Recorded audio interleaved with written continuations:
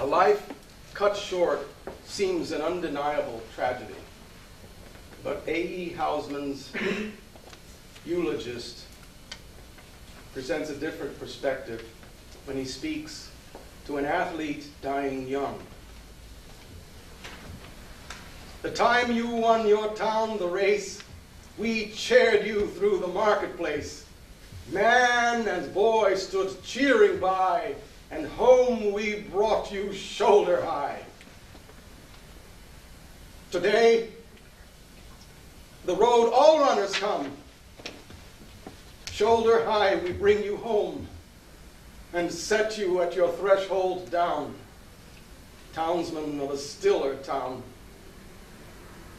Smart lad, to slip betimes away from fields where glory does not stay. And early though the laurel grows, it withers quicker than the rose. Eyes the shady night has shut cannot see the record cut, and silence sounds no worse than cheers after earth has stopped the ears. Now you will not swell the rout of lads that wore their honors out, runners whom renown outran, and the name died before the man.